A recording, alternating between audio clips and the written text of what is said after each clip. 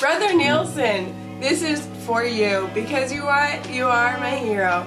So here are just a few things that you have said that have really stood out to me. Can you do this on your own? Good. All in favor, say aye.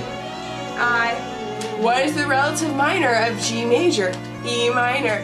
What is la of G major? E.